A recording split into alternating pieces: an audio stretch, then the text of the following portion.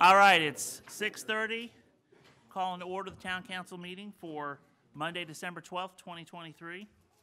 And Jimmy, you want to do the, start off us with the prayer? I know it says pledge first, but we'll do the prayer first.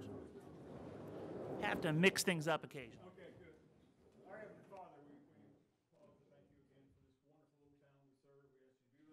This guide our conversation, our thoughts, lead and guide our things that we need to do for this uh, town. We ask you to bless us again as what you can. We ask this thing in Jesus' name. Amen. Amen.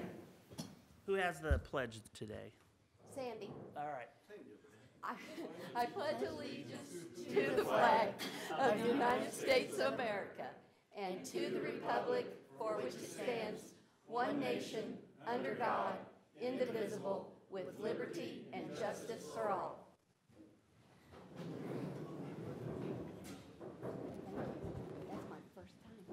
All right, Sandy, roll oh, call. Yes. William Ellis. Here. Trevor Sager. Here. Scott Oldham. Here. Pamela Samples. Here. Dan Swafford. Here.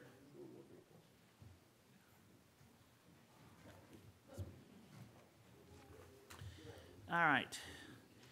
Jimmy, I think you are next on this, police officer recognition. I'm feeling a little frisky. Did your medicine come yet? I didn't take it, a piece of chocolate.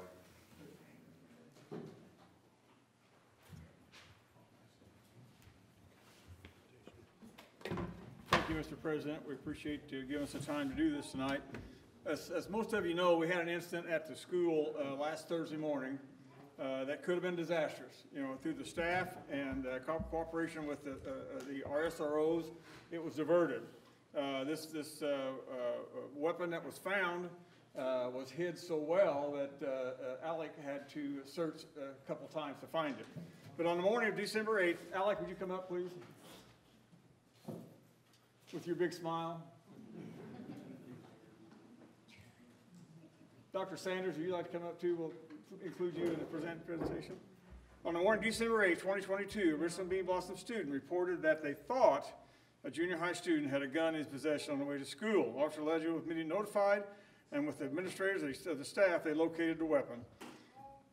This meritorious action indicates that the highly need for trained uniformed police officers to be present in all of our school buildings.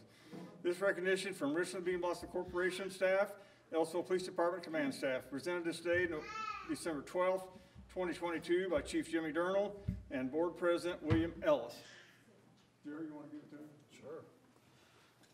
So I got it.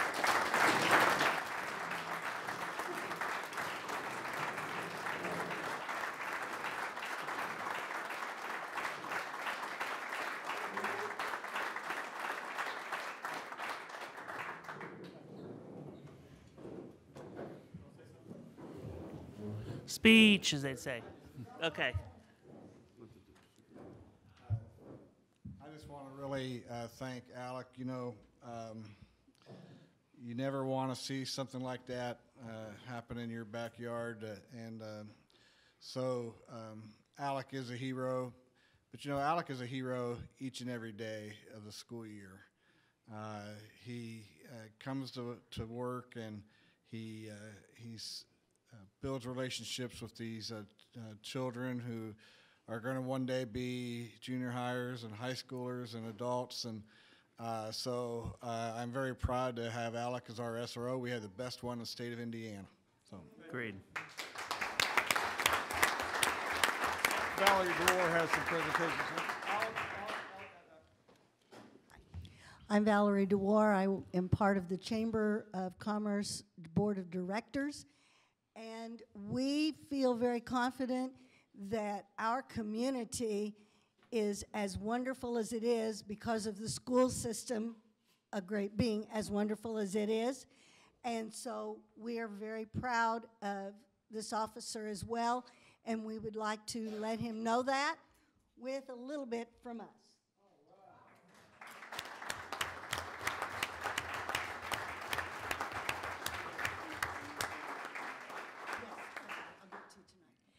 As a veteran teacher of 40 years, I have to tell you, there are times that you feel totally exposed in a classroom.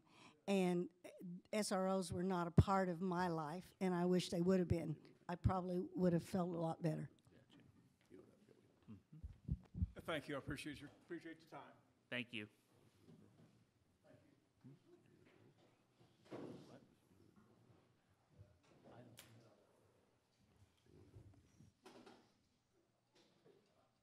Hold on just a second.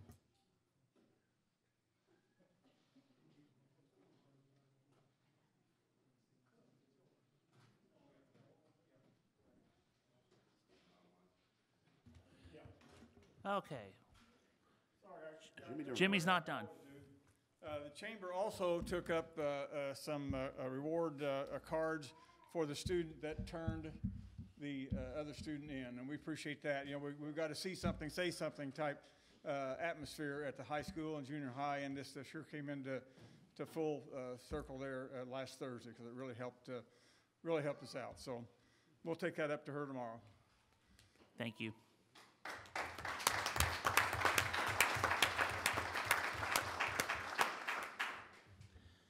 All right, next on our agenda. I- I- By the way, I like presiding over things like this. This is, this. You like that? Yes, I do, so. That- That'll work. All right, so we're at approval of minutes for the regular meeting and work session, November 28th, 2022.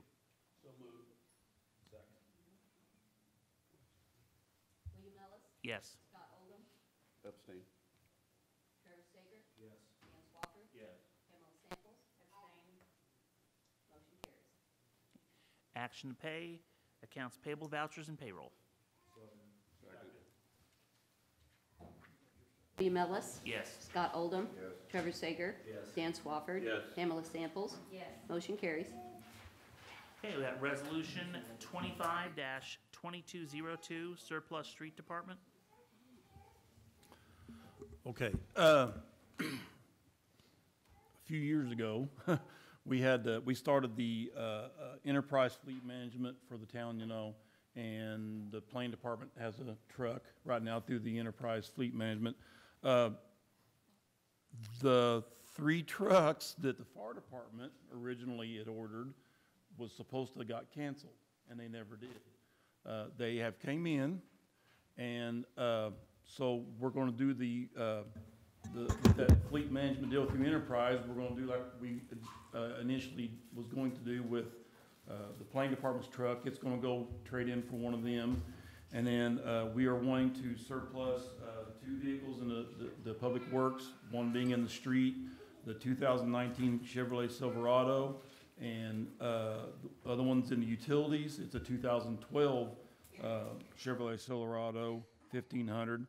Uh, These two vehicles, uh, the, if I say this all right, Mike, the, the equity in the vehicle goes towards our uh, lease. So.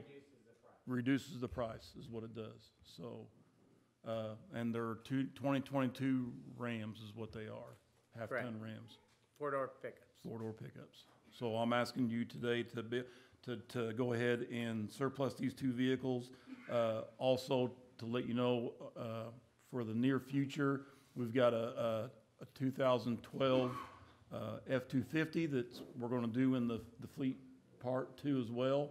And another vehicle is coming up for the, uh, uh, inspector, is that right? for the building inspector. So we'll have a couple more trucks that we'll need to in the future uh, surplus to do that into the fleet. So to be clear, we want approval to surplus vehicles that we will let go of as we transfer to leased vehicles. Right. Will we need a motion every time this is done, or can this be a blanket motion? We're not asking for permission to lease, we're just needing the trucks. To I know, surplus but these sur- trucks. Surplus. I'm saying, will this c- cover the other trucks that you need to surplus as part of this agreement, or do we need to do it each time? We'll do it each Tom, Okay. All right, any council You got a, discussion? que- you got a question, Scott? So are these trade-ins or are they being surplused? They, we Well- are, tra- yeah, we're trading them in and the value goes to the purchase of the, or the lease of the vehicles. For instance, uh, uh, Denise's vehicle, which is, this is her third year owning it? It's a twenty twenty-one Ford. 2021 Ford, so her new lease will be reduced from five hundred eleven dollars, these are rounded figures, to three hundred and sixty-two dollars. No, to three thirteen. Three thirteen. So, um, we are taking advantage of the vehicles that the fire department originally tried to purchase. They had incentives on all three vehicles, and, um, we, initially, we were not- not, we were gonna pass up the vehicles, and so they came to town because we was talking about lease, leases in the future. And then when we realized that we could take the equity in the vehicles we have now, reduce some of the um, uh, lease, lease amounts, um, we took advantage of those incentives, and uh, we'll have all new vehicles, and, and we're, we're gonna start leasing them instead of owning them. I get that. My question is to Sandy, I guess, on this. In this resolution, we put. That we have a contract with Enterprise Fleet, and that these are gonna be traded in. Okay. I guess my question, to make it clear, and so we're not setting a bad precedent, I was under the impression with state law that as long as you're trading the vehicle in, we don't have to surplus it. It's if we're selling it on the open market, we have to surplus it. Well, I don't know the answer to that, so I'll refer that to Ms. Well, I looked at it, um, I'm happy to look at it again. I couldn't find anything that said that specifically, which is why we tinkered with the Okay. language. So, but Again, I I'll, I'll be happy to look. for Down the road here that we're We doing was trying to be these every I time looked and that I they're was just trying to trade-ins. find this in-between category and I didn't see it, but I'll look again. And But- this also just gives a little bit of tracking when I'm audited.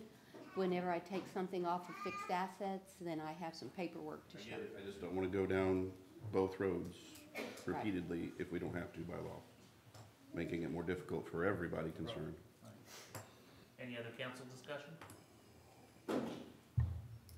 Any public comment? Seeing none, I'll entertain a motion.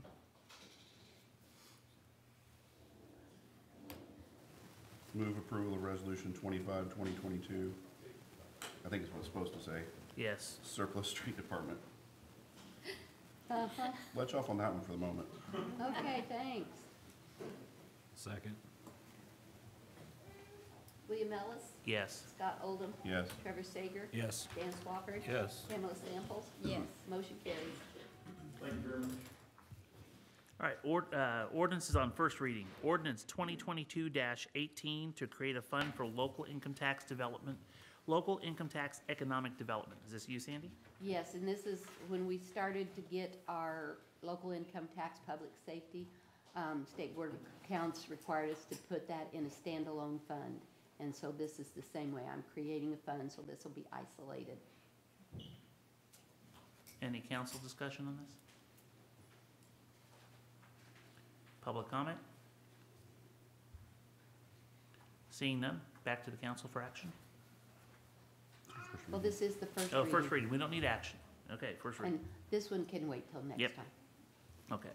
We just need to have it, uh, by the end, and before the new Before year we starts. start getting our draws, yeah. Gotcha, okay. All right, ordinance is on second reading. Ordinance twenty twenty-two fifteen, fixing of the salaries for budget year twenty twenty-three. And I had asked, you know, we're in the process of updating our salary ordinance, our personnel policy. And this firm suggested so much stuff be moved into the salary ordinance, huge amount of stuff. And I was not comfortable asking, putting that in the salary ordinance before we passed the personnel policy. So then we got into a time issue. So I have not changed this salary ordinance, other than I found an error on the last page on the date.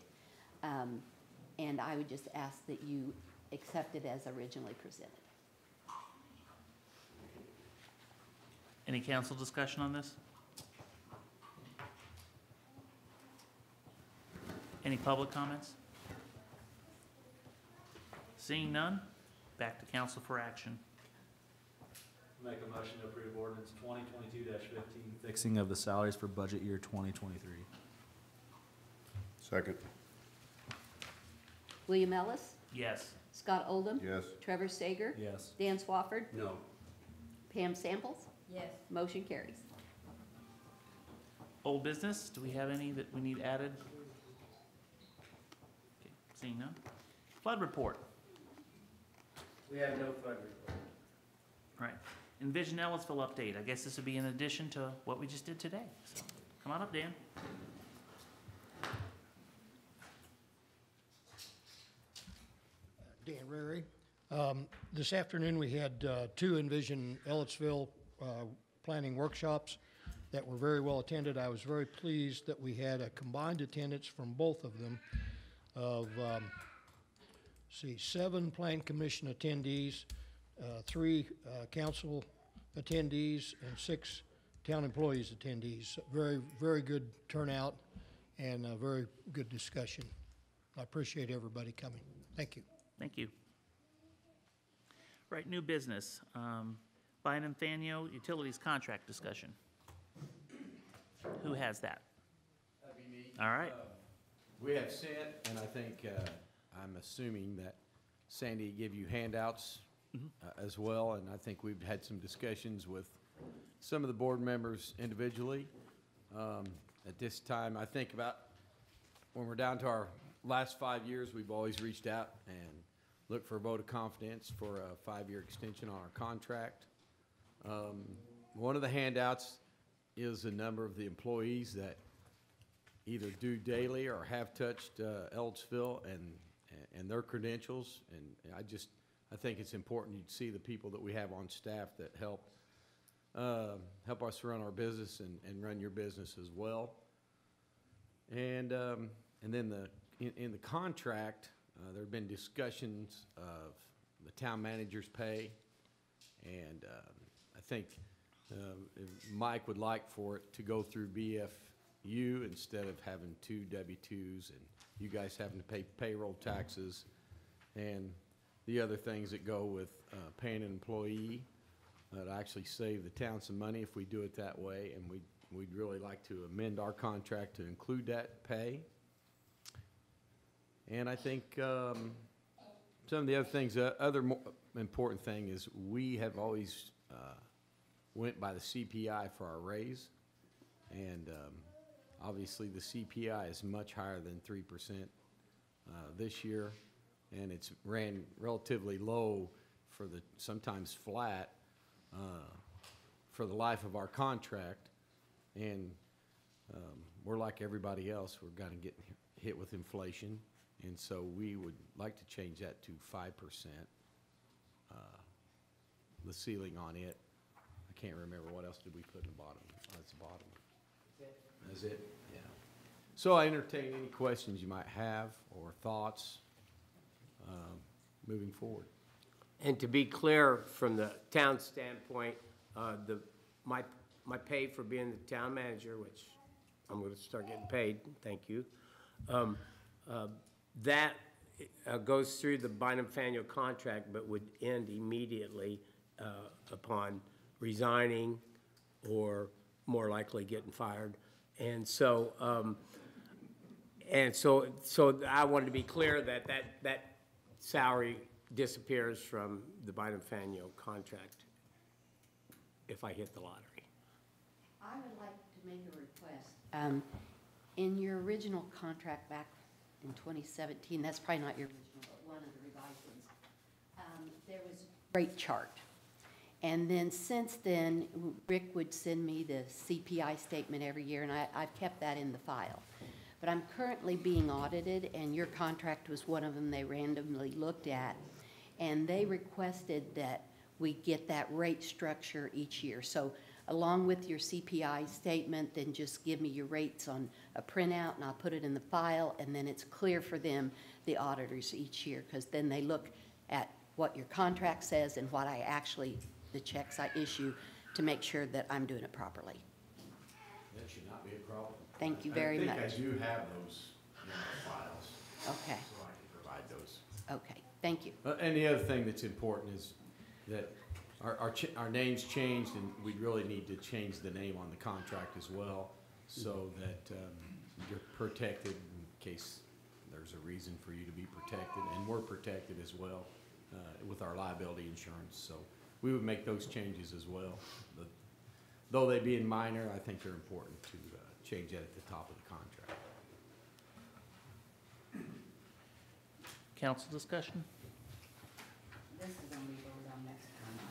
Yeah, we're not, I, I wouldn't think we'd be voting it on I, tonight. there's not an actual contract in here, it's just, right, it's just your summary.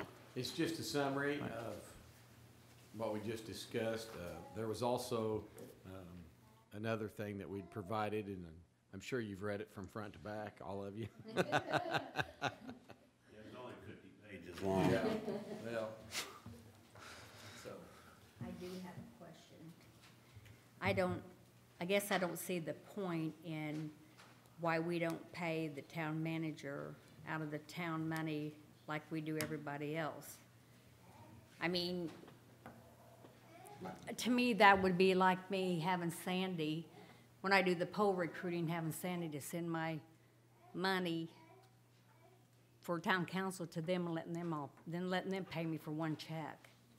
I don't see Well, that. I had personal reasons for wanting it, and some of it's retirement, and, and, uh, so I'm already collecting PERF, and I just didn't want it to be a problem for me. It's the same amount of money, so it, uh, and it goes away if I'm not here, so. It's really, it's really no different than you paying us to be your managers of your utilities or your Department of Public Works. Um, So it's still a professional agreement to fill all of those duties, and we're just adding town manager as one of our additional duties, if that makes sense to you. Yeah, And I- it is actually saving the town money because if he were an employee, then we would be required to put him onto PERF, which is fourteen point two percent a year. And we would have to pay his matching social security and Medicare, which is seven point six five percent a year. So in essence, by contract, we're saving money. And, and all you're doing is paying me, you're not gonna provide me with a phone or a vehicle or gas or any materials. Every once in a while I do steal a pen, but that's, so, We're, we're keeping track of those. Um, What would be the, I mean, could we kind of break these two things apart? Because one thing I'm not fully comfortable with is passing something longer than the term of a town council member, so four years instead of five. Um, I- It's, that's, so could we sever that and ma, or, or change that to, I mean, would, would why that? don't you just limit the amount of time in the contract that you will pay by Nathaniel for my services? Well, not necessarily, I'm talking about just you. I'm talking about just the contract in general. They want a oh, five-year okay. renewal. Yeah. And it would put it out, what year would it put it out expiring now, if we did the five-year renewal? Twenty thirty-two. Right, and so we're binding future count, town councils to this decision. And I, I don't know if I feel comfortable with that. There's precedent. There is. Um, no, I understand that. I'm just, I'm just telling you a concern of mine. And so could we add you to the contract without extending the contract? That's between you and, Okay. Um, When is your contract up? Twenty, twenty-seven. Yes. 2027, and you're wanting to extend it now to, We have done that historically, kept Right. ten years. Uh, it's getting harder and harder to retain certified operators and, um, I'm also looking at the future of, you know, BFU. We hope to n- never go away. Um, certainly, we keep, continue to grow. Uh, I can tell you, there is a shortage of certified operators in the state of Indiana. So, the current, o- the current people we have working there, um, may not be here in ten years, and I'm pretty sure they won't be. Uh, so, you know, when, we're, we're on the same situation as what, just counter what William's talking about. We need the ability to say, hey, if you come to work for us, we got these contracts and the length of them, so. I think, uh, it was important back in twenty, what, whatever the year was, we, we done this as well, that we got a ten-year contract.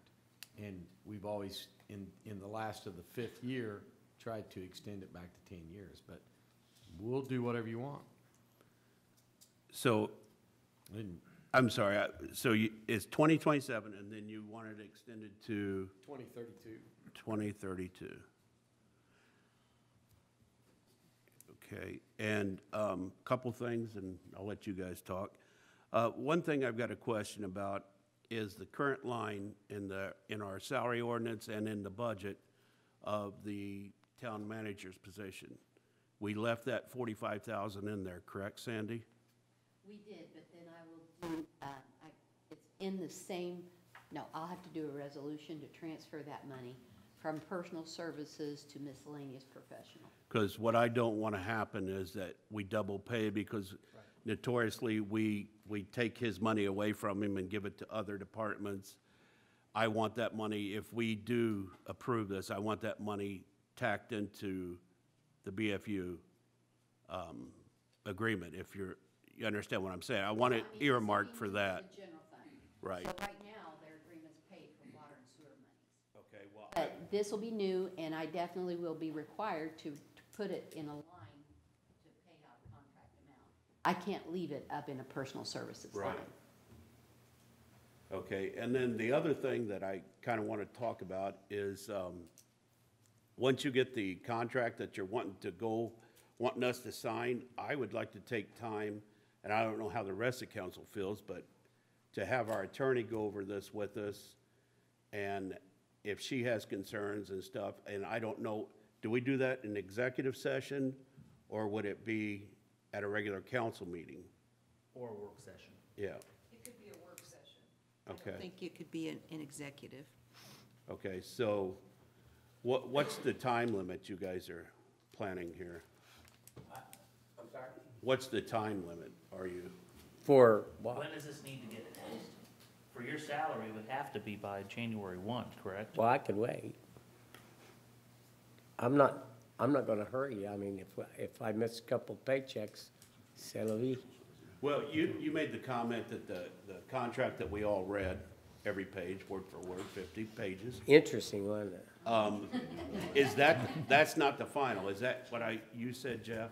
That was not, that's not a contract. That was just Okay. a Right. history of, to try to show what, you know. So my question is then, when will you have the contract ready for us to look at? Well, we sent it to Darla first, when we send it out to you, so she could, you know, look it over. And Sure. so she's wanted to answer when a contract could be, because I'll not be putting it together for obvious reasons. And Jeff's sent his proposal, so what, what contract is developed will be based on what the board wants to do.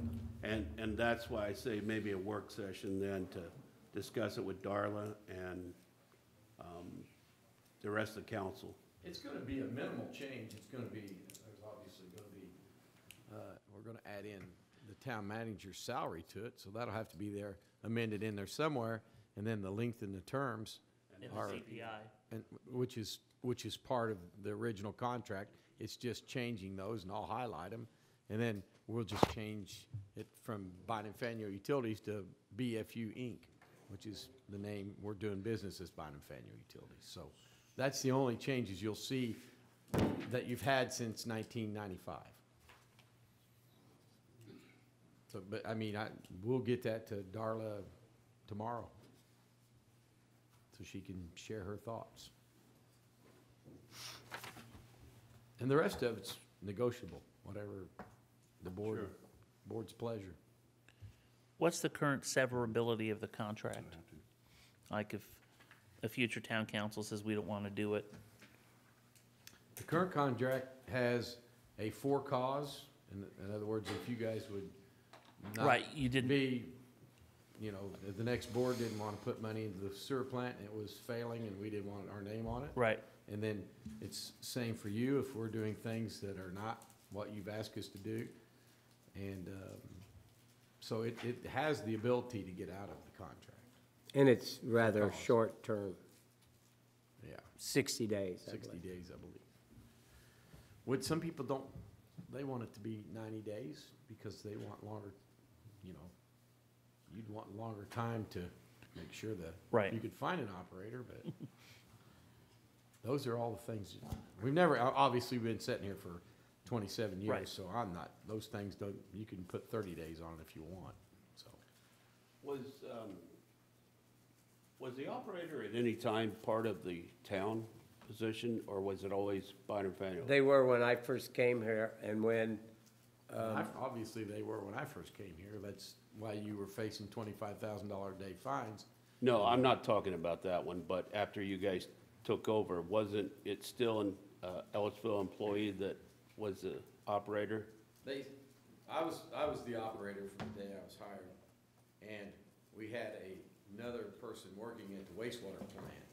And then when we, in nineteen ninety-seven, when we built the new plant, um, we hired two people, and they, for a short term, they were still Ellettsville employees, and then that's when we hired Mike, and, uh, and the contract got bigger, and so they just became our employees at that time. 2000 is when their employees Yeah. became, our employees became their employees. I think that's correct.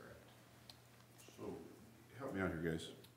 As I see it, we're kind of talking about two different but related things. One is the extension of the contract back to the ten-year mark.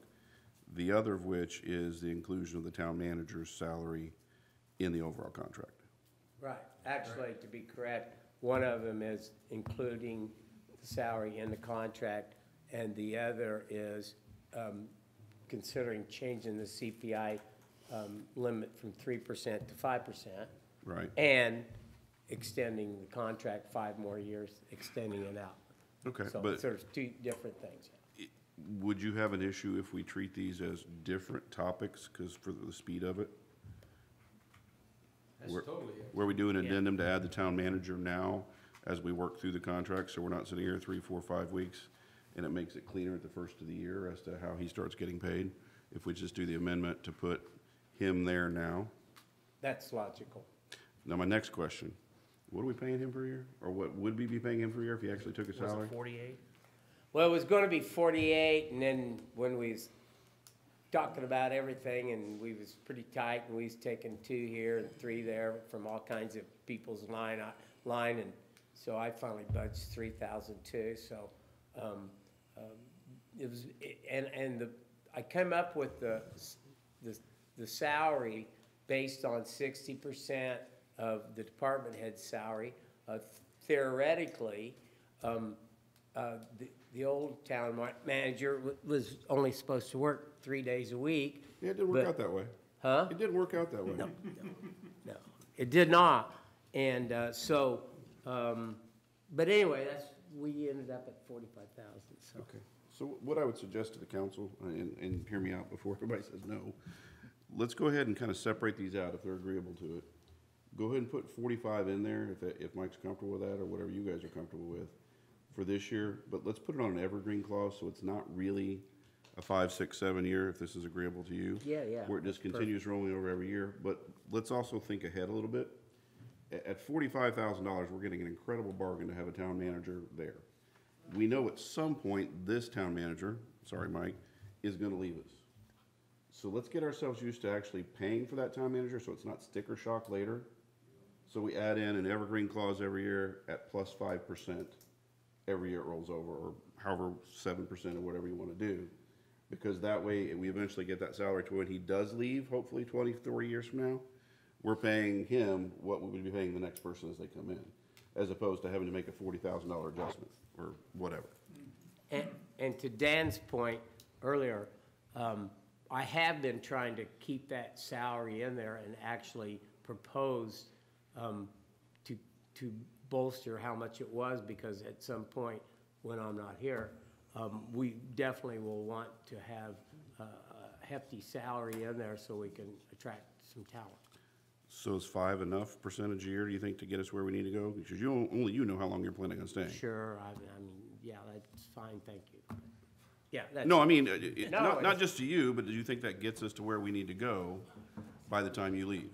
In Well, I, I- I think it, uh, the, yes, and, but the easy answer is, um, when I go, I think you guys will wanna consider making it a full-time job. Right. Um, just from experience. And, um, I think by then, the growth, hopefully the growth and the activity will, um, deem that a good idea.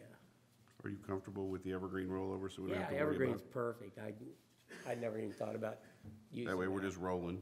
Yeah, yeah, yeah, yeah. And it's Christmas, so. What do you guys think? I, I, I get what you're saying, Sal, I really do on, on that, and I agree, we have to get that salary built up to where we can replace him. but I'd rather that to be, instead of con- contractually obligated to be part of the, se- uh, discussions like we do for the other employees. Well, see, that's the problem, though, when we're doing it this way, he's not another employee, he's con- a contract. So you could set it at whatever we give the other employees, or five percent, either way. So if you give them seven one year, I mean, this year, thank God. Right. They're all getting much more than that. Well, he would be left behind. So we're trying to bump up that salary a little bit at a time, and, and please God, never make it to where we're, once again, having to tell them, sorry, there's nothing to make, you Right. can't have a raise. So i- if we make it five percent, and I'm just guessing at that, that way that contract, we know what the fixed cost is going in for the next year before we ever talk to anybody else about the raises. Well, but how would that work if it is commingled with the contract? Just like any other line item, if, if, if, again, you go to McDonald's, you want a Big Mac, you're paying seven dollars. You want a Big Mac and fries, you're paying nine dollars. You want a Big Mac, fries, and a Coke, you're paying thirty-two dollars. I mean, But- it's but just the- whatever you select off the menu. But the CPI would be included in their contract, No, not in And- regard to the town manager. so the town manager would be a separate line. Within the contract, yeah, because it'll have an evergreen clause with it, as opposed to the total CBU contract, or, I'm not CBU, sorry, biennial contract. And what was the Sorry. reason, again, you don't want to be paid through? Pardon? Wh- I'm Well, sorry. I, I just, it'll make it easier for me to get paid from one entity and my retirement, um, some considerations for, I'm not, I'm not, if, if I was a town employee, I don't know if I'd be PERF or not, but I just didn't want to go that route. So it's not a real big deal, but, but it, it just made my life a little easier and it didn't, money's money. And so, um, I I just asked for that. And by the way, I would be a Happy Meal, so, You'd be what? a Happy Meal. Oh. Well, it could be a big difference if you're a PERF employee and you have to stop drawing your retirement. So are you saying you'd have a cheap toy inside, or? Well, I'll just make you smile. But we're gonna leave that one behind. You see what I'm saying, Mike? It could be a big difference if you become a PERF employee, because then I don't know you could draw your PERF, could you? Well, he's already drawn from a previous job that I think after so long time, you can start over. Yeah, well, I didn't know, but I, I, but, but at the end of the day, this just makes, it's, it's something I asked for. I, it just, it feels like the right way to do it for me. And I could be wrong on the PERF, but. Yeah, and I, well, I, I- this would take care of that. Well, I think it's a lot of good things to think about, and hopefully we can get it going, and, because personally, I think you should have been drawing a salary all along. I mean, you're doing the p- job, you needed to pay for it, and that didn't really sit right with me in the beginning, when you were doing it for free, so, Seemed odd, didn't it? yeah, just didn't seem right, so. But, but, but I, I want to remind what Sandy says, I, by doing it this way, it's a way of saving money. And there's nothing wrong with that. Jeff, could you bring us contract language by next meeting so we can, particularly for severing these from the overall contract? Yeah, I think I, uh, I'll, I can write it like I think you wish, and then if you need, if it needs to change. And we'll try to, we'll get it circulated to Darla first, and then she can Yeah. red mark it and send it back to me, and then we'll circulate it to you before the next meeting, well ahead of time. That way, if somebody would like to see a different or a comparable contract that's read a different way, we could have two, and then you could make up your mind. Well, I would love to see a work session oh, Well, that before sounds it, good. so, yeah. So, but right That's not gonna happen before the first of the year with Christmas and everything else. the That's only way we right. would, be, well, because not everybody's gonna be here next meeting. I was gonna say, normally we would do it before the next meeting, but then we've got Christmas week, so I, I really don't know logistic-wise how we would do that. If, and you guys said, I mean, you're still under a five-year contract, so the only hurry would be your salary for the, the town manager Right. starting January first, which I'm fine with the back That- pay. that's what- I mean, whatever, That's what I'm if, talking if about, we don't severing get it. it. Yeah, that's what we talked about, Yeah. too. Tell us once a month.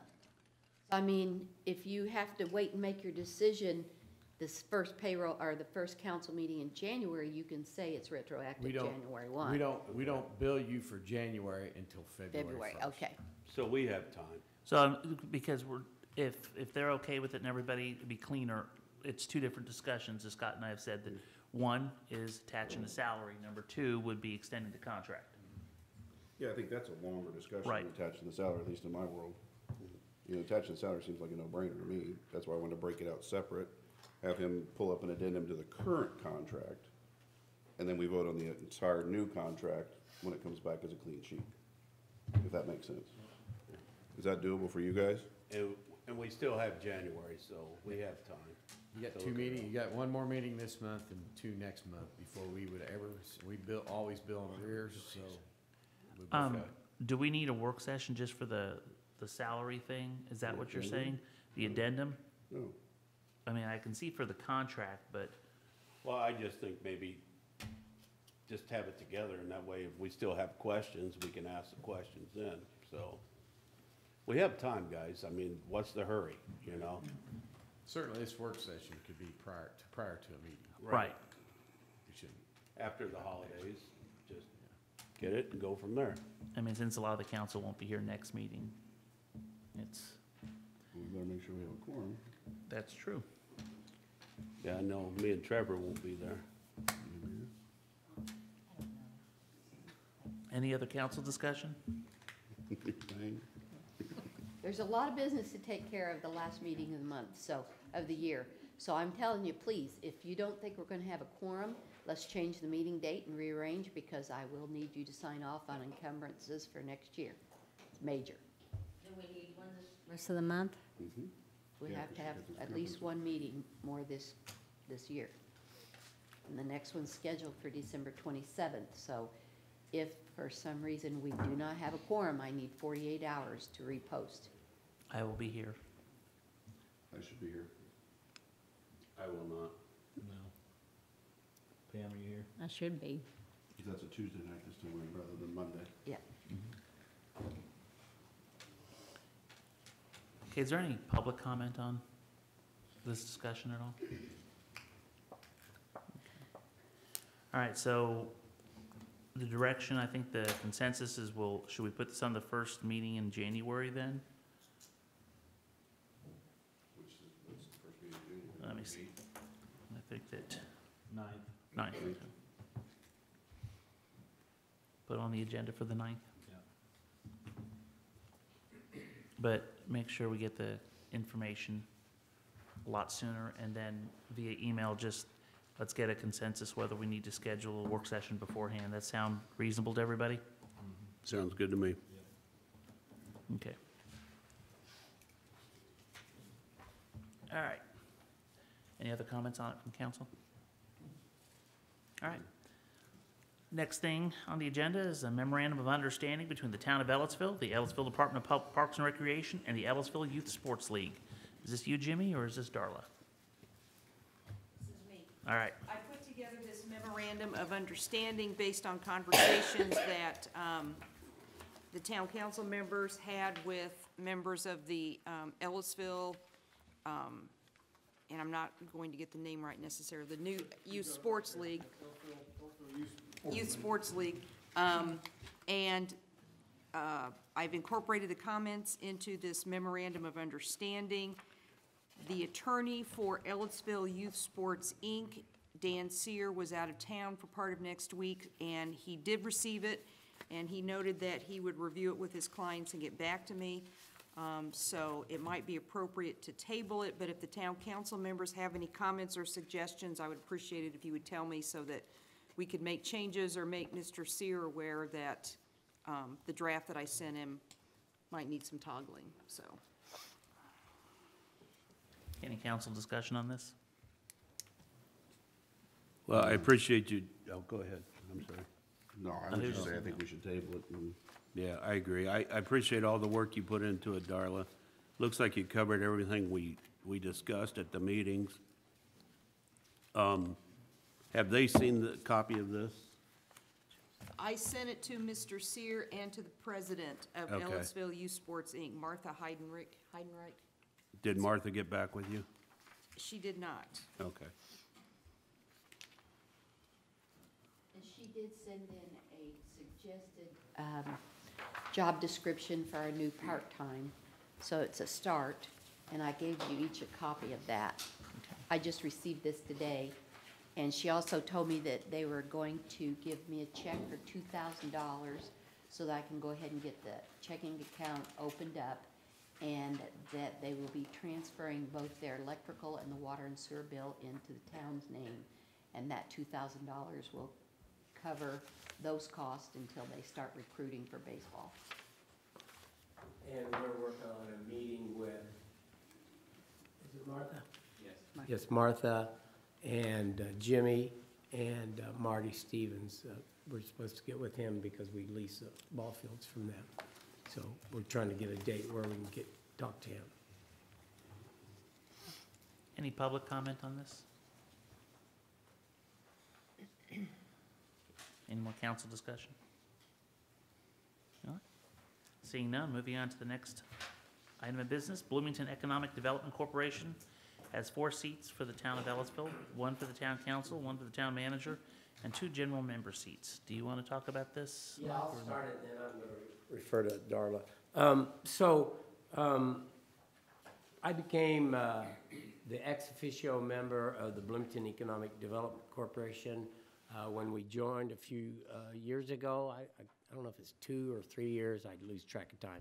And, uh, so, um, I did not understand that we actually had four seats available, uh, one on the, uh, executive council, and then one, and then three just regular members. Um, Help me out if I say the wrong thing, Jen. Uh, So um, I, I just did not know that, and so it came to light, and so um, there's some interest in the seats, and um, one of the seats I definitely would like to have Denise assigned to. And uh, my question is, do I assign those, or should the board assign those? And, and how, how do we work through this? Because um, we'll eventually send an email to Jen, and, and, and so I need, I need to know how to proceed. Go ahead. Good evening. Um, So first of all, thank you so much because we're delighted to have the town of Ellettsville so involved in the Bloomington Economic Development Corporation. We serve all of Monroe County in fostering economic development. Um, In terms of the two seats, so um, this is the same for Monroe County, for the city of Bloomington, and for Ellettsville. So typically, the executive for that local government sits on our executive committee. And then we also have one member from each of the councils that sits on the executive committee and participates in monthly meetings. And then the two additional liaisons um, are invited to our monthly board meetings, uh, so we have 11 of those throughout the year. Um, And it's really important to us to make sure that Ellettsville is really well represented in uh, community-wide conversations and that we're fully supporting you. So when we recently were doing an audit on just making sure that you had your full membership benefits, we realized that we wanted to include um, all four liaisons. And typically, our organizations that are members uh, include leaders or rising leaders within the organization. Thank you. Thanks. And so, and, and so, um, I was worried about setting a precedent just on our behalf, and then come to find out that somebody from the board should be on the executive board as well. And so that spot's open, so Pam had, uh, shown interest and, and asked me to look into it. And so I just need to know how we proceed to make this all happen. Um, uh, William, um, I- And I thought we set precedent when, he did it. Um, he'd asked to be on it, and they said yes, so it- I, I, I misunderstood. So William's currently on it, and I've talked to William and Pam, and so I need to know who says what to whom to get this, make, make this happen. Okay, I guess that's a good question. What does, Jen, what do the charter or the organizational docs for the BEDC say about how these four individuals are to be selected? Is it just left to Ellettsville? Yeah, so typically the way we operate is um, the lead, uh, like liaison from the member, uh, kind of makes those decisions. So th- that's why the question went to Michael Farmer. Um, I know for Monroe County Council and the City Council, for the council seat liaison, um, they typically decide amongst themselves who they're going to appoint. And then it would really be up to you, working with the organization for the two other seats, um, who you think would be a best fit um, for the type of work that we do together. So it sounds like the council would have a pick, and then the council could decide whether Mike Farmer picks the two general member seats or whether the council wants to do that. Do we need to do an ordinance for that, Darla? I don't believe so, no. Well, we, we do all our appointments the first of the year, first meeting. I don't know if this needs to wait till then, or, That would be fine with me. I wanted to bring it up so we could get it clear, everybody know what's going on, and maybe that is the appropriate time to do it. That, that would be or fine. just get, it- what's everybody else think on that? Jen, Yeah, just wait. do you have any meetings scheduled between now and? I think the first one is the first Thursday of January, I believe that's the 5th. Okay, so that would, we'd miss one. Okay, but this, the way we would be on the same cycle. Mm-hmm. That would- And if you'd like some, a proxy to sit in on the 5th um, for, from council, you're most welcome. Okay, Who's on it right now? I am, but I've not been able to really attend because of the timing of it. When you guys started this, wasn't it the town council president that was on it and? Mhm. And then I couldn't keep making the meetings by where the time and date, so Mike started going in my place. And then I think I took over during COVID, because I was at a few of the meetings, so I think it stuck to the town council president at the time, so. um, You know, I, I feel it should be the council appointment, just at January or at the first meeting with all the rest of them's fine. And then keep Mike on it too. Is that what everyone's thinking? And the two general member seats, are those appointed by Mike or how, that would? Um, I mean, so it- how you all want to make that decision is fully up to you, but we would typically look for the lead liaison to just let us know who those people would be. Okay, And I'm fine either way. I mean, if you decide, then I don't have to. It makes it cleaner because all the other boards and commissions are filled from this seat as opposed to. right, I mean, so we do the appointments for, yep, I, I agree. That way it takes the weight off his shoulders. Yep, And there's no party involved in it, is there? no, there's no par- partisan breakdown. no. If it helps for those other seats, for example, in the city of Bloomington, there's uh, individuals who work closely with economic development issues, and so they fill a couple of those seats. And that's why I thought Denise would be perfect for one of the seats. I'm sorry, I missed it. No, I just said, and that's why I suggested Denise would be Oh, okay. perfect for one of those seats. Oh, yeah, And then I might suggest, if you guys are open to it, um, if Pam's interested in it, William, you just make her your proxy and she could go to the first meeting and then we can appoint someone after that. I'm good with that. That way she doesn't, you need a written proxy or is this good enough? Pam, you're my proxy, how's that? All right. Any, uh, public discussion on this? Thank you very much. All right, I, I, I have, excuse me, yes. and thank you.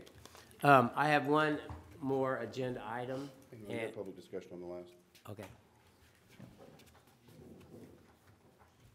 So can someone speak to the general members? Is it of the community? Is it the town of Ellettsville? Is it address related? Is it, I mean, are there I uh, assume it'd rules be that in the, govern the that? town limits of Ellettsville. Okay, okay, thank you. Right. Do you need me to speak with them? Yeah, if you could. All of our boards and commissions in there. I think. Um, so typically with our, all of our, three of our local governments is someone who works, um, for the local governments that participate, uh, as one of those liaisons. I think she's just talking about the general member seats, though. Uh, yes, yes, that's amongst the four that we're Okay. talking about. Somebody for division Good? Go ahead, Mike. Okay, so I, I apologize. Oh, I, but actually, any other public comment? Okay, I apologize. Um, I did not manage to get uh, Lynn Stafford, who we'd already planned to be here from Drive Clean Indiana. Y'all got a card from him. I've been working with him and talking to him, and I, think part of my job is to bring innovation and new ideas to the town, whether we uh, think they're good for the town, that's one thing.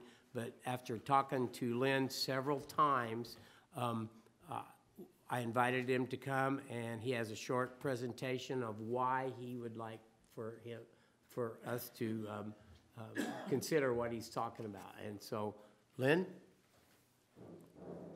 And I apologize, it was not on the agenda. Fault.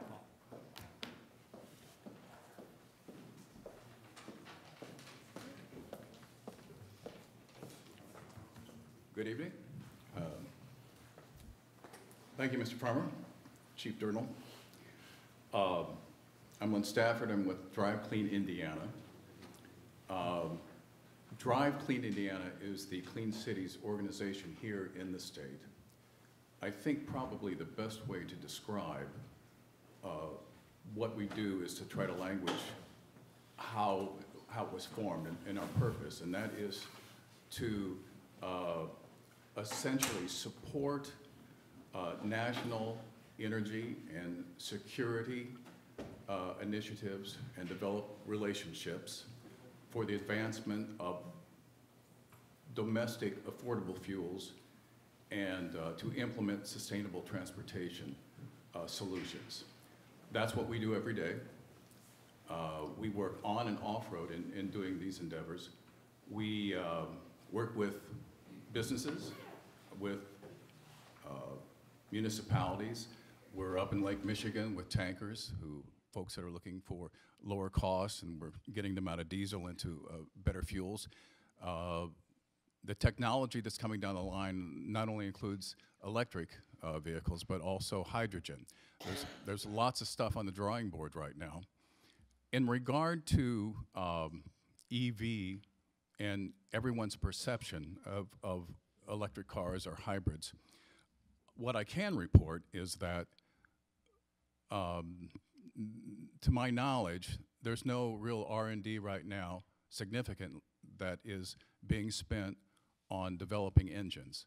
All the money's going into EV. So this is not a matter of if, it's a matter of when. And I'm here tonight uh, to uh, have the opportunity to share with you that there's just multiple funding opportunities, a lot, for introducing EV charging stations. I wrote some of these down. There's uh, as well as uh, new vehicles, fleet replacement programs. Th- as a result, there'll be additional tax credits. And what we'd like to do is have a chance to work with you and develop a plan and be a partner with you along the way uh, to your success. Uh, starting with uh, having a vision, a strategy for where you are now to where you want to go, and work with you to make sure that you accomplish that.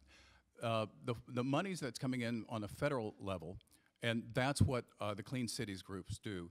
We act as a conduit between state and federal to bring the funding in, as well as we do project management. There's a whole host of things that, as conversation uh, continues, that we could be in service to you in different ways.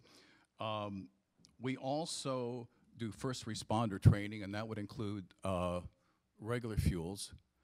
Uh, we do grant writing, um, and I mentioned first responder training. There's just a whole list of things. Currently, we're working with um, utility companies across the state in an effort to uh, satisfy the NEVI program, the uh, National EV Infrastructure for uh, charging stations that will are, are purportedly to be every 50 miles, uh, 74, 69, et cetera, all around, uh, all around the state. And um, so the utility companies have never really worked together, so that's sort of interesting, and they're learning how to play nice. Um, these are all design and build for next year. So there's a lot going on in this area. What I'd like to propose to you is that uh, you consider coming on board. We start with a fleet survey. It's a fleet census of what's going on in your in your uh, in your city in your town, and from that census, we're able to tell. Uh, it's like a quick snapshot for you to understand where your emissions are, where there might be cost savings, and it will inform you on future buying decisions as well. We are a member-based organization, and uh, I'll just pass along if anyone has any questions. I, I, I'm sorry I don't have more of a formal uh, presentation, but I just wanted to share that much with you in that you might uh, give some additional conversation and discussion along the way here. You know, my interest is, uh, when I talked to Lynn, um, we talked about, uh, uh, propane, and, yeah, and, and so we got some ba- fe- feedback from the board that was not positive, but I think EVs are in everybody's future, and Lynn mentioned that we could get grants that would pay for us to put charging stations in, is that correct? Yes. Yes, and so I thought it might be worth, it might be a good start if, you know, if, even if we don't start buying EV vehicles immediately, um, I think maybe if a grant would pay for a couple of charging stations in town, it's something that would be good for the community.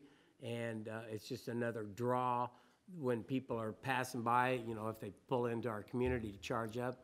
Um, I, don't know, I, I, it's just, it's a consideration, so I at least wanted to expose you to it, and so if it drives further conversation, great. And, um, I think the best thing to do, if anybody's interested on the board, is to talk to Lynn directly. If you, if you talk long enough, you, you hear things that might be interesting as far as what it could do for our community. Certainly with your fleet, uh, if that's where it starts, uh, there's been perhaps some interest in, in looking at a number of charging stations around your own fleet, uh, perhaps law enforcement.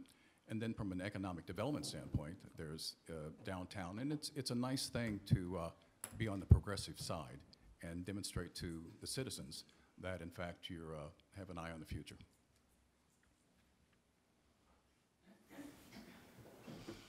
Any council comments or discussion? All right. Do you have any kind of cost analysis to someone who's converted to the electric police cars to, like, how much the total investment and then the cost savings on fuel might be? We will, we, yes, we do. And we do that after we do the fleet assessment, but I'm sure that I could get someone in the back room to speak with you in regard to, we work with municipalities all across the state. Um, For instance, say Muncie, Indiana, which is a larger town, but um, it- they're CNG. And the thing about CNG, that usually starts with refuse. And it's a big expense to put in CNG, millions of dollars with pipe, pressure. But once that CNG station is built and they're using it for refuse, uh, what, what everyone realizes is that the more horses go into the trough, the faster the return on investment. And at that point, that's when uh, the rest of the fleet would consider converting to a bi-fuel uh, CNG vehicle that includes law enforcement. Uh, The upside to that would be, in the case of uh, Muncie, is that they, uh, there's no range anxiety. Uh, It's a program that's been going successfully for the last seven or eight years, and they're very happy with it. And they too are looking at, they're dipping their toe into hybrids as well on the police force in regard to, to electrics. But what will happen in the meanwhile, you can save a lot of money. So, Uh, just to be clear, um, I, I don't have rose-colored glasses on when we talk about this. You can't hardly get an EV car right now. And, um, you know, to think that our fleet would ever be all EV, uh, I won't, I know I won't be here. But I, I just thought that we should be exposed to the technology and, and the idea that there might be avenues to get charging stations. Whether we do anything about it, uh, really, uh, that lead should come from the board, but thank, I, I thank Lynn for coming and letting us know about it. I appreciate the opportunity. Any- Any other Thank you. questions? All good? Uh, We're all good. Thank you, ladies and gentlemen. Thank you.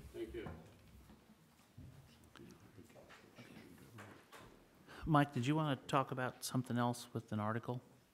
Yeah, I was gonna do it supervisor's comment. Okay, all right. So we'll go next, privilege of the floor. Any public comments on anything? Not covered? Uh, be able to Ron Van them. Evener, uh, building inspector of Town of Ellettsville and also resident of uh, Ellettsville at 323 West Blackfoot Drive. I want to thank Mike Farmer, uh, all the supervisors here, the town council for your support with this raise. It's going to help each and every one of us. It's going to keep a lot of us here.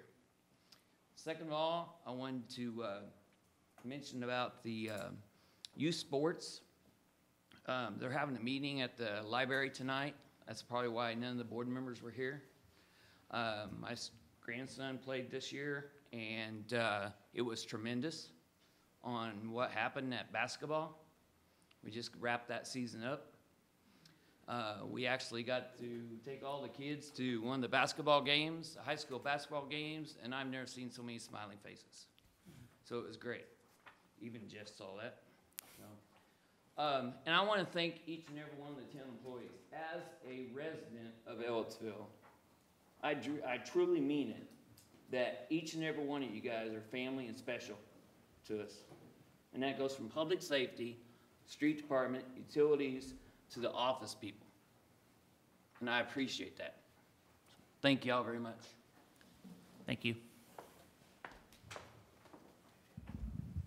I'm not really sure how to follow, follow that, but um, I just wanted to say, um, on behalf of the BEDC, one, thank you for your engagement, but also thank you for your engagement in the Economic Vitality Project. I wanted to give a quick update on that. Um, that's our Monroe County-wide initiative to convene people to address some of the biggest economic development challenges we're facing, including jobs creation, workforce, land use and infrastructure, quality of life, um, as well as other areas. Um, thank you to Michael for being a part of our steering committee for that. A quick update for you is we're honing in on a final plan and we'll be talking to partners um, that will be agreeing to be a part of that plan in January and hoping to unveil that plan in February for implementation starting afterwards. It dovetails really, really nicely with the Envision Ellettsville plan. I know Clark Griner from our team has been leading on that.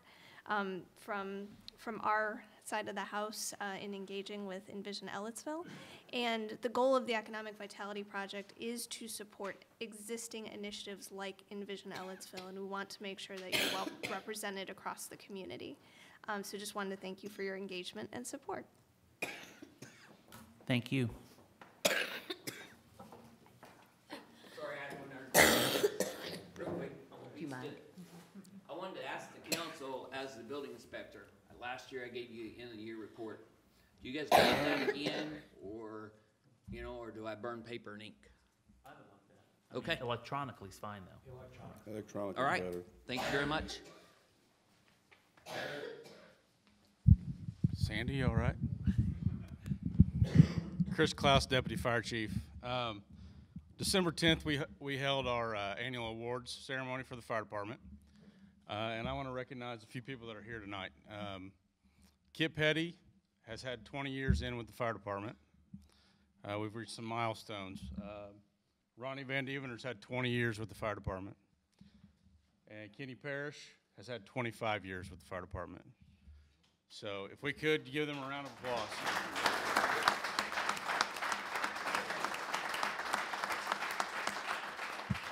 Thank you. Yeah. Can we get, get you up for a picture? After the meeting. put that on the chamber. Yeah, after the meeting would be good for that. All right.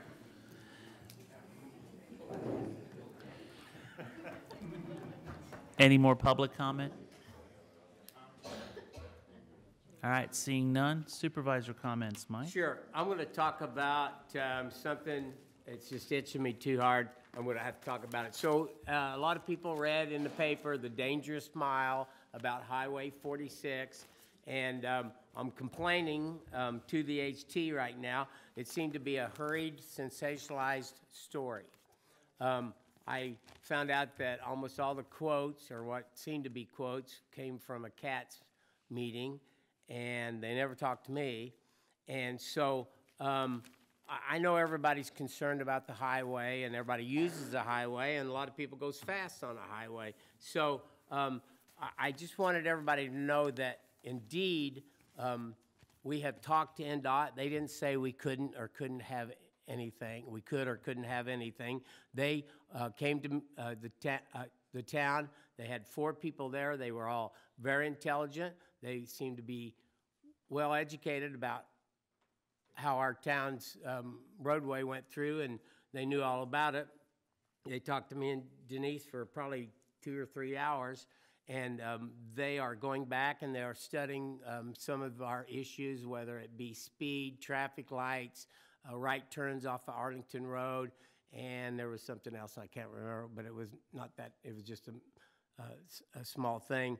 But anyway, they are, um, they are um, looking into how um, we use Highway 46, and, and they're going to look at the crashes and this, that, and the other. So um, it, it seemed to be a sensationalized story, and the truth is, in the last 12 months, we've had 24 accidents, and uh, quite a few of those are just fender benders. Hardly any of them are at intersections, and none of them at, are at Starbucks. So, so to single out some some of our uh, our businesses and, and how dangerous it is to come out of them, if you're not paying attention and you're going too fast, obviously it's dangerous to be driving on the highway. And other than that, we're looking into uh, how the highway affects us and how we affect the highway, and we're let, leaving it to the um, professionals, and that would be the INDOT people who control the road anyway. So I just wanted to make that clear, and I, and- and, if everybody goes, well, you might be too harsh on the HT, well, I'm pretty sure it was a hurried, hurried article, and I'll probably get in trouble with them for this, but one of the accompanying pictures has the mayor of Bloomington looking at lead lines on the east side of town, and they used that to, for illustration on part of the dangerous mile. So, uh, anyway, not too happy about it. I don't like sensationalized social media, media or papers or any kind of media. So I wanted to put it to rest that we're looking into it and we're doing what we're supposed to be doing. Thanks. Can. So a couple years ago, we had a, a study done, traffic count. And if I recall correctly, the average roadway usage, so both ways, east-west, of the 46 as it went through Ellettsville was about 50,000 cars a day. 25,000 in, 25,000 out, and of course, some of them's running around town. And that's the average. That, folks, is 18,250,000 vehicles a year running up and down 46. We had 24 accidents. Jimmy looked at them, I looked at some other stats. And correct me if I'm wrong, the vast majority you looked at were at intersections, correct? The vast majority I looked at further east were at intersections. And again, I get the, the presumption, and I, I don't mean that in a negative way, that speed is the issue. The issue is not speed, the issue is people not stopping for the red light. 24 accidents out of 18 million trips. I'll even have that. So 9 million trips for 25,000 people on average a day, and you had 24 accidents, most of them at intersections. The issue is not speed, the issue is people not stopping for the red light, not people not paying attention and slamming into people who are stopped at the red light. So let's not have a knee-jerk reaction to something and, and inadvertently start moving that bubble away where it should be. So let's concentrate on education about stopping for the red lights as required by law. Let's talk about the use of the center turn lane on 46, which is a turn lane, not a travel lane. You don't get out of it and you get to go a quarter mile. You get out of it and you stop and then you can enter traffic. That's the way the law has designed it. Again, folks, you're right. There are definitely people who speed down 46. But to put that as our primary focus, I will tell you, at least in my opinion, is a danger because then we're missing the true lesson learned here, which is people failing to stop at the red lights. And when you look at the sheer numbers of it, I am sorry for anybody who got hurt and absolutely anybody who lost their life. But when you're talking about 24 accidents, even if we have it at 9 million trips, if somebody wants to do the math on that, it begins at point zero something or other. So the issue is not overtly massive speed. The issue is people not paying attention to what the state law already has there.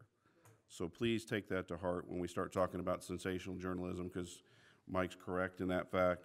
But let's take the lessons learned that are learned in data, not the lessons learned where we think we see something.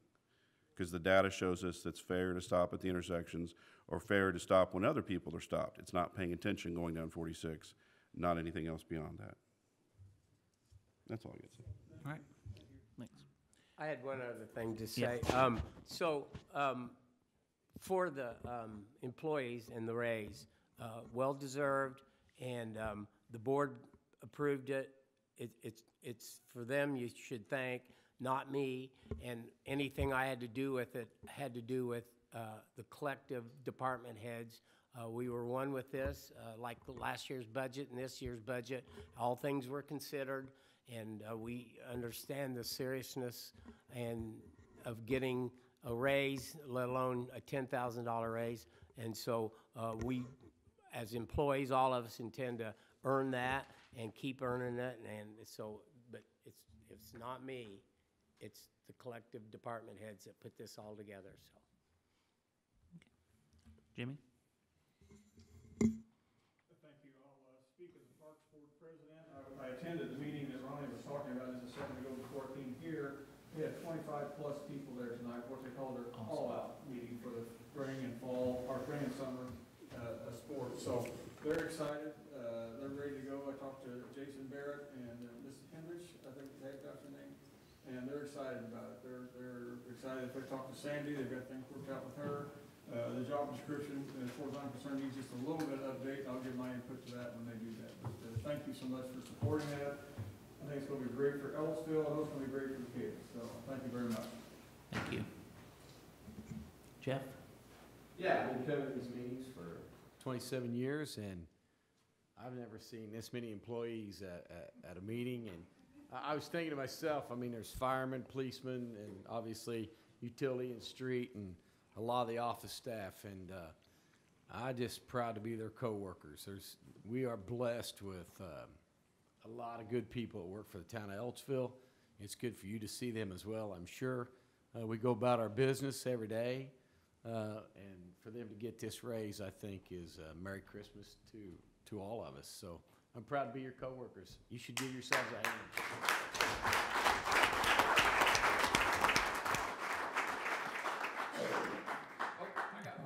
Yep. I got a little business. Um, at the Ellettsville wastewater plant, we have a flooding problem, which floods out our motor control center uh, during rain events. Uh, we've got a, a dry creek bed that goes right over one of our junction boxes that we need to move. And it's gonna take quite the, the effort to reroute the water around the wastewater plant. Um, so we took, uh, got a couple prices, what we could come up with. Uh, one is from Tom Hetty, and the other one's from Tom, help me with his last name? T and M. T and M, yeah. T and M was sixty-eight hundred dollars to, we need to remove about twenty-five trees, and they're gonna put them on the ground safely for us. Um, and Mr. Hetty's bid was four thousand, and I would like to take the low bid and get that job done. I'm not sure, Ran my track, I left them in the track. How many trees? Forty, uh, probably, uh, I'm, I'm guessing twenty-five. oh, twenty-five and A four lot. thousand? Four thousand and sixty-eight hundred was it.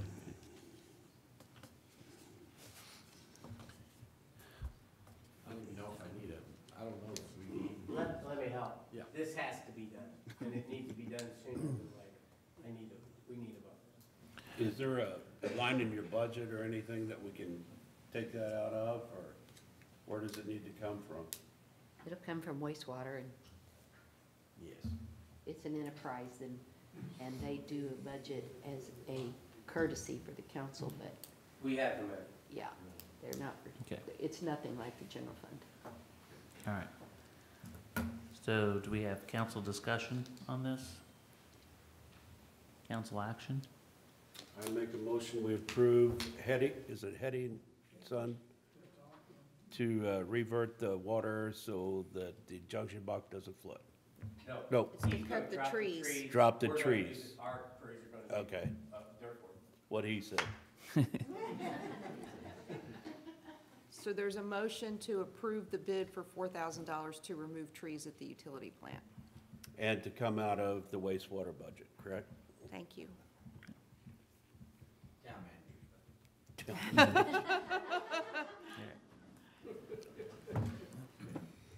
Please wait till January before you start. We have a motion made. Second.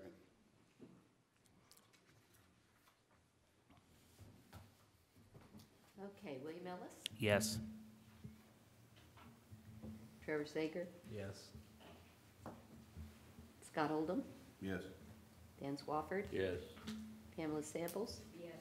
Motion carries. Kevin?